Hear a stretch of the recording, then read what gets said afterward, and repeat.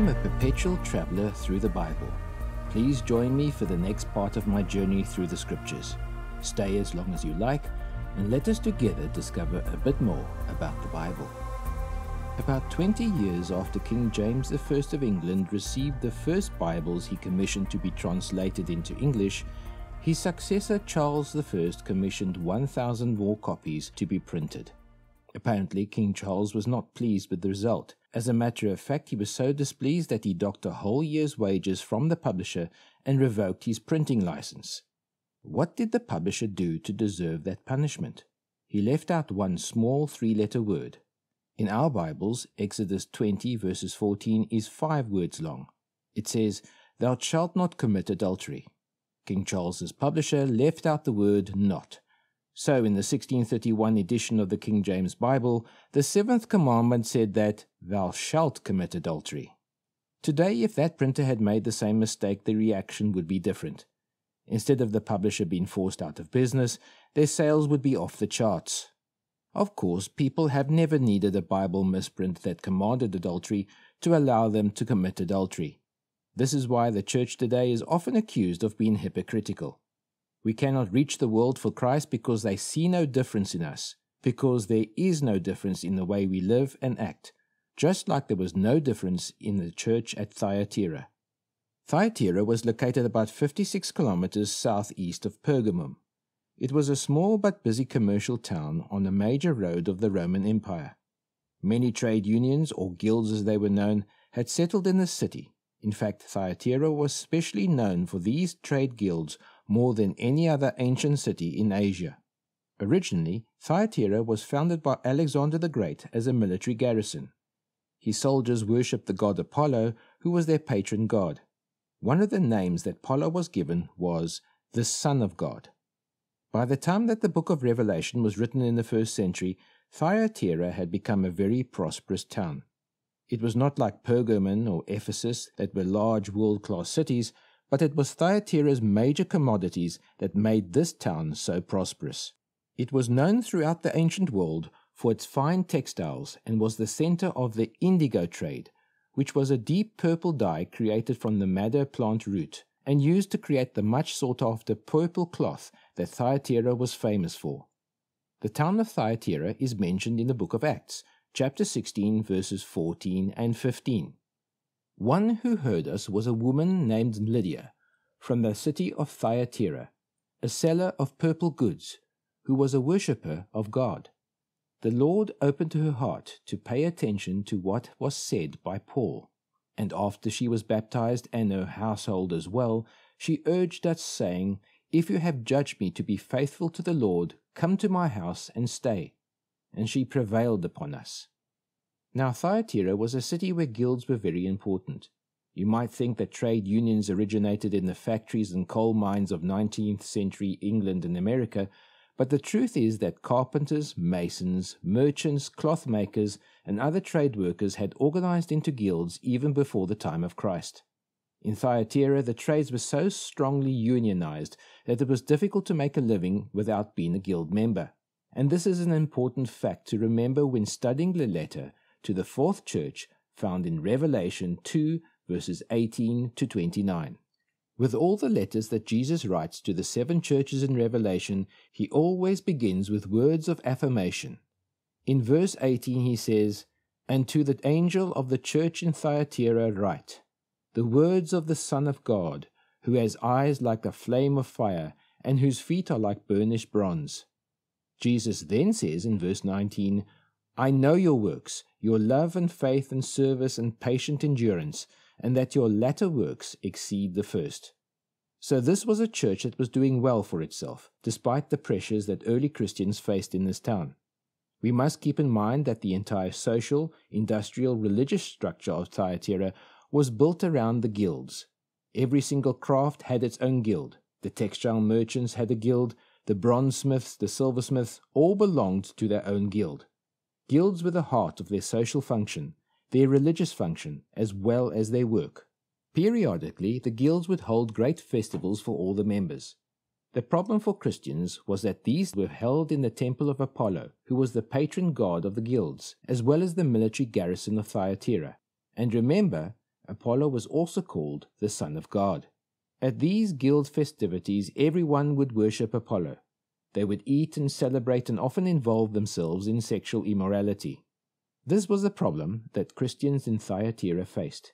If they didn't partake in the festivities, then they would be accused of bringing misfortune on the guild because the god Apollo would be displeased. If this happened, then the guild would have only one option, and that would be to expel the Christians, and they would lose their jobs and livelihood. We learned in episode 23 of the Journey Through the Scriptures podcast that in the church of Pergamum, Christians faced the tremendous pressure of not worshipping in the temples and not worshipping the emperor, and for that they risked losing their lives. In Thyatira, they might not lose their lives, but they would lose their jobs and their source of income. Every follower of Christ in Thyatira had to make a choice. It would be Jesus or his career. But Jesus addresses these marginalized believers in Thyatira by identifying himself as the real Son of God. Although Apollo, the patron god of the guilds, was also called the Son of God, Jesus declares that I am the Son of God. It is significant that the title, the Son of God, appears in these verses for the first and only time in the entire book of Revelation. Some cults, sects, and atheists claim that Jesus never said he was the Son of God. Yet here is one of the several New Testament passages where he clearly makes that claim.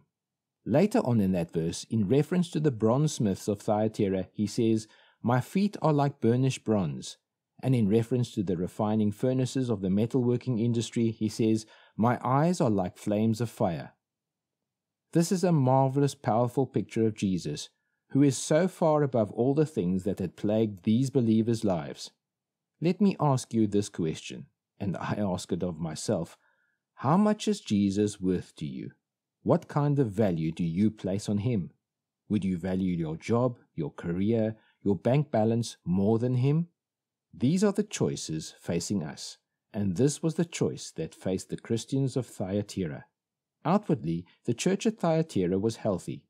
The Lord found several good things in this church. He says in verse 19, I know your works, your love, and faith and service and patient endurance, and that your latter works exceed the first.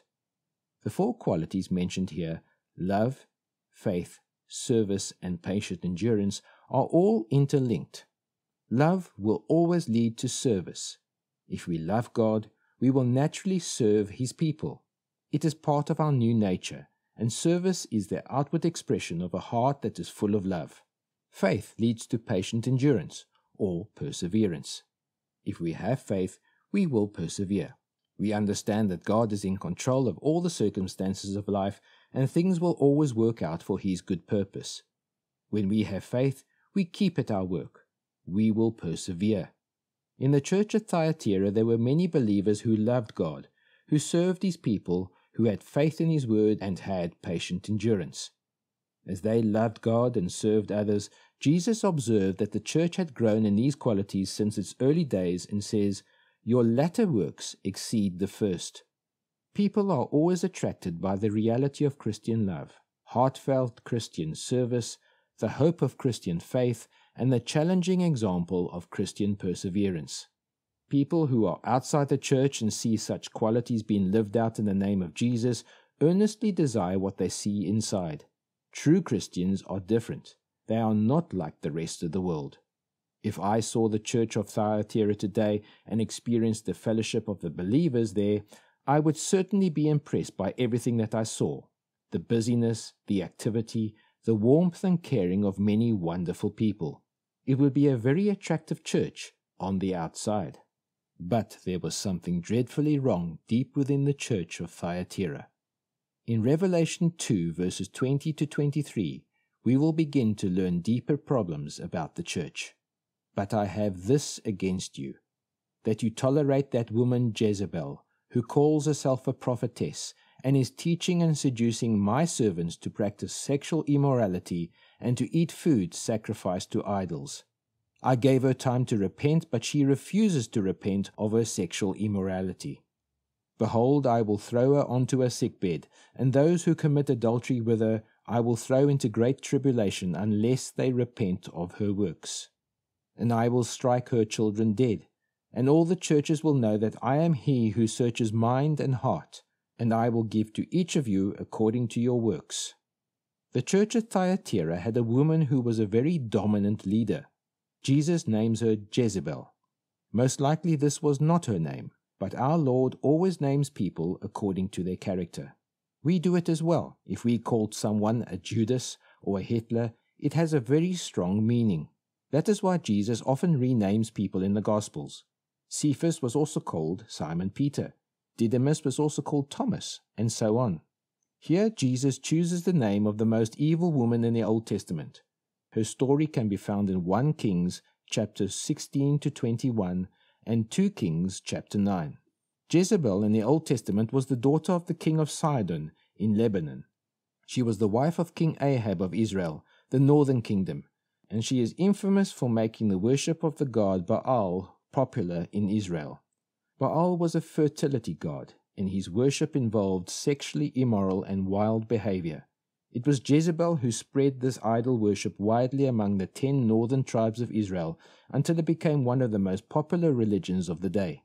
She was the one who tried to kill Elijah after his famous encounter with 480 of the prophets of Baal on Mount Carmel when fire came down from heaven and consumed the sacrifice. Elijah had courageously faced the false prophets of Baal, but when Jezebel threatened him, he ran for his life, so she must have been a powerful and dangerous woman. She was a ruthless, immoral seducer of the people, and that is why Jesus selects her name for this dominant woman at Thyatira. And this Jezebel in Thyatira calls herself a prophetess. Now, there is nothing wrong with her being a woman.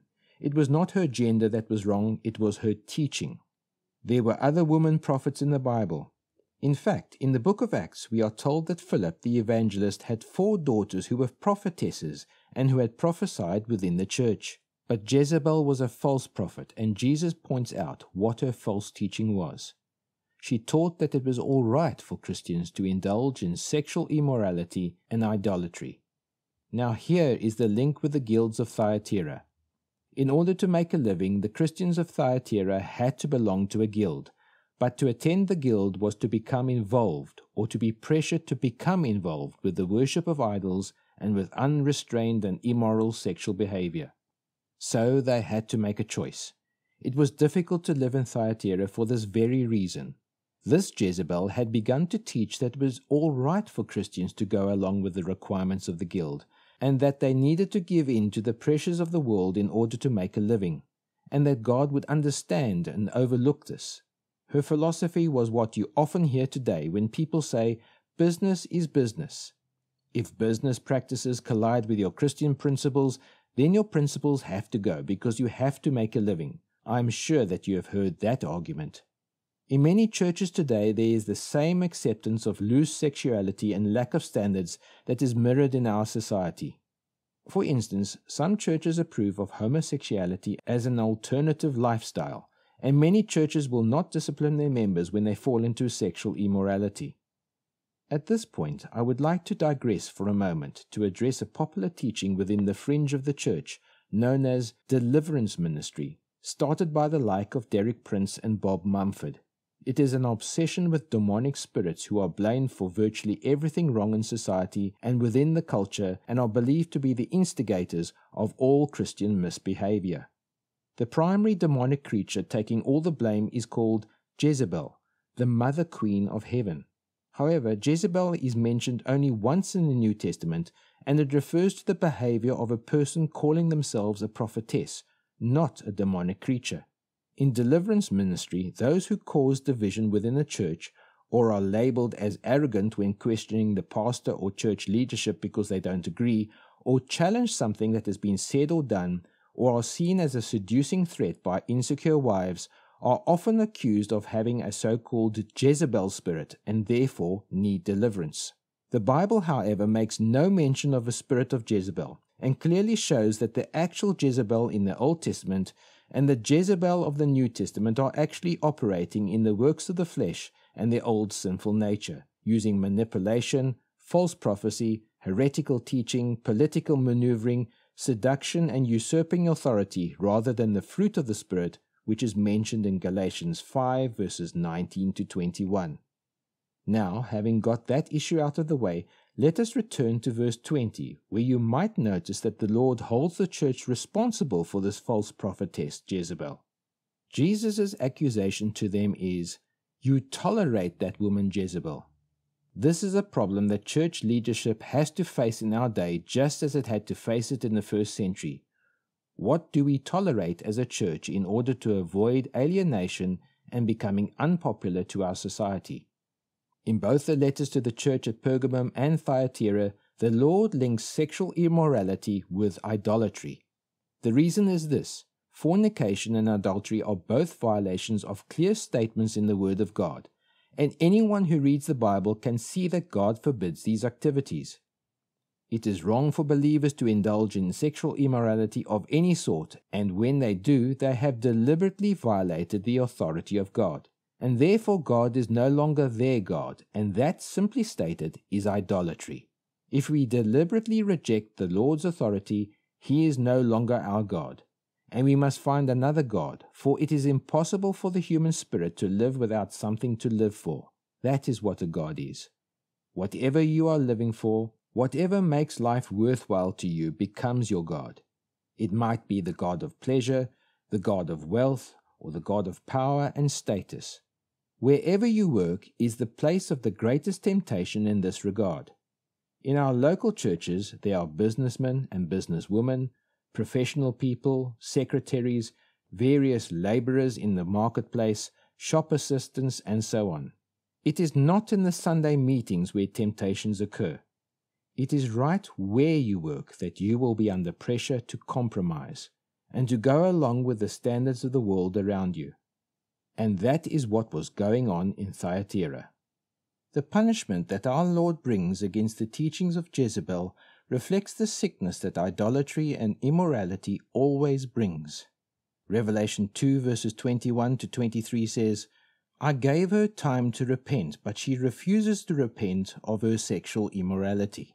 Behold, I will throw her onto a sickbed, and those who commit adultery with her I will throw into great tribulation, unless they repent of her works, and I will strike her children dead. And all the churches will know that I am he who searches mind and heart, and I will give to each of you according to your works. In Jesus' judgment, there are three groups affected. Firstly, to Jezebel herself, Jesus says, I will throw her onto a sickbed. There is a bit of irony or sarcasm here. He is saying, in effect, if this woman likes beds, I will give her one, but a bed of pain and sickness. The second group that is affected, he says he will throw those who commit adultery with her into great tribulation. Those who commit adultery with her are those who practice, as she did, immorality and the resulting idolatry. The suffering or affliction that he refers to could refer to the sexually transmitted diseases which invariably accompany immorality. Gonorrhea and syphilis were well known and widespread in the ancient world. These days we have the additional plague of AIDS that results largely from sexual immorality. Anyone who has watched someone dying of AIDS knows what a terrible, painful thing it is, both emotionally and physically. There was a third group. Jesus says, I will strike her children dead. The children spoken of here do not necessarily mean this woman's physical children, but represent those who not only practice immorality, but who spread it to others as well, as Jezebel was doing. Personally, I think the death referred to here is spiritual death, or what is called in a letter to the church of Pergamum the second death, which is the terrible death in the lake of fire that is described in Revelation chapters 20 and 21. Spiritual death occurs when there is a commitment to evil that makes repentance difficult, when a person becomes hardened and desensitized to right and wrong. But despite these terrible judgment that Jesus pronounces, there is good news. He says, unless they repent of her works. Jesus always gives an opportunity for repentance. Often natural disasters, earthquakes, hurricanes, volcanoes, floods, and global pandemics are opportunities being given to us to think again, to stop and look at what we are doing, and to change our ways. Jesus says that this Jezebel was unwilling, so the judgment must come on her. The impact of that judgment and discipline within the church is always that the church is purified, strengthened, and helped. Verse 23 says so. And all the churches will know that I am he who searches mind and heart, and I will give to each of you according to your works. Believers begin to notice evil tendencies and become careful not to drift into the pattern of the world around them. They begin to make a stand against pressure to conform and compromise. That is what needed to happen in Thyatira, as Jesus searches the hearts and the minds. Jesus is saying that when we see Him acting in judgment, we will realize that our feelings are important and our choices equally so, and that each one will be held responsible for his or her choices. No one else can be blamed but ourselves. When we look at the church of Thyatira prophetically within the scope of church history, we see that this church foreshadows the time from the 6th to the 16th century, a thousand years which are called the Dark Ages. It was the time when the church became corrupted by combining pagan rites and Christian teaching. Many pagan practices and heathen rituals were introduced into the churches, disguised with Christian terminology, and were thus accepted as being true. Images began to be worshipped in churches. Only priests were allowed to read the Bible, pray, bless, and teach, which was unknown in the early church. The control of political powers by religious authorities became widespread. This was the time when the Bishop of Rome began to be called the Pope and began to exercise authority over emperors and kings. This was the time when church hierarchy was widely established in the church as the system of government instead of the simple servant leadership that we read of in the New Testament. We should not make the mistake of most Protestant Christians and think that this only portrays the Roman Catholic Church. Many great Protestant denominations also allowed many of these errors that are reflected here in Thyatira to take over. We hear the titles like Dominee, Reverend, and Doctor being used to address the ministers in many Protestant churches, and there are many political parties with the name Christian in them. We see the passing of responsibility for evangelism over to professional ministers instead of the members of the local church. This should tell us that we are all as guilty as the Roman Catholic Church of the corrupting influence of the Church of Thyatira. In his appeal to the Church, our Lord says several encouraging things. But to the rest of you in Thyatira, who do not hold this teaching, who have not learned what some call the deep things of Satan, to you I say, I do not lay on you any other burden. Only hold fast what you have until I come. Here, for the first time in these letters, our Lord lays special stress on his coming. Notice particularly the phrase, the deep things of Satan. When the church drifts away from the moral standards of God's word, it almost invariably leads to the rise of mystic rites and rituals. People love to feel that they are being let into special secret things. You find these mystic cults arising in many movements of our day. The New Age movement and its offspring, the New Apostolic movement, for instance, entices people with revelations of powerful spiritual experiences and knowledge that ordinary people do not have. These are what Jesus calls the deep things of Satan. In 1 Corinthians 2:10, Paul speaks of the deep things of God. Whenever God does something good, Satan imitates it and corrupts it. These dark and hidden things are Satan's imitation of the wonderfully deep truths in the Word of God. Now, to those who have not been misled by Jezebel's false teachings, Jesus says, Hold fast what you have. He says, Do not let it go. Do not accept these degraded moral standards. It might be difficult to live for Christ in a worldly church, but hang on to your moral standards at least. Do not go along with sexual immorality, and do not accept the idea that adultery is only a minor sin. Hold on, Jesus says, until I come.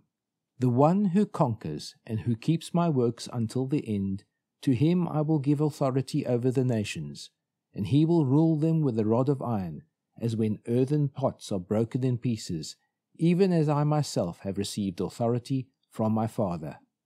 Jesus has a promise to those who overcome by holding fast until he comes in verses 26 and 27.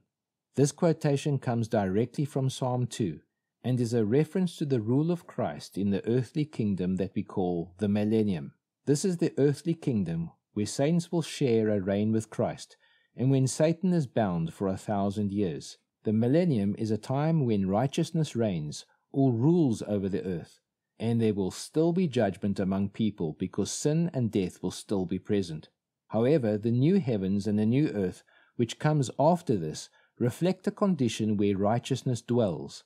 Nothing shall enter there except that which is righteous and pure and good.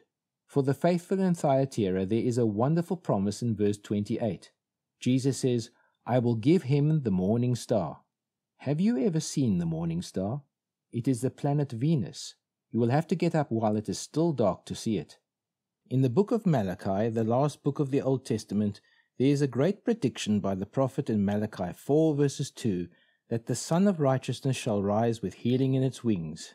That prophecy means that the Lord Jesus will return in power and great glory. He will be like the sun appearing in the darkness of this world's night. But before the sun rises, the morning star appears. In Revelation 22, verses 16, Jesus says of himself, I am the bright morning star. What is Jesus saying here? There will be an appearing of himself for his church before he comes in power and glory, visible to the whole world. In other words, this is a promise of the rapture or the snatching away of the church. This is the first such promise in the book of Revelation. Jesus will appear for his own, for those belonging to him who are true Christians, who have been held and kept by the Spirit of God from the evils of the world. It is not that we cannot and do not at times fall, but we always recover and repent and turn back to Him. That is the sign that our faith is real. Those who have real faith will always repent. True faith holds on to the end. Finally, Jesus says in verse 29 He who has an ear, let him hear what the Spirit says to the churches. We must not just listen to this church's message, but to all the church's messages. These promises and warnings are needed in our individual lives, no matter what our local church may be like. The church at Ephesus was told, Do not let your love for Jesus grow cold. Smyrna was told, Do not fear the persecution of the world. Pergamum was told to trust the word of God to keep you strong and faithful. And Thyatira was told, Avoid both sexual and spiritual adultery.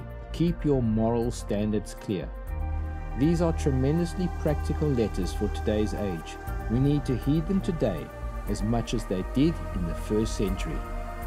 This is David Wiles, your fellow traveler in Christ, and this has been the Journey Through the Scriptures podcast, episode 24.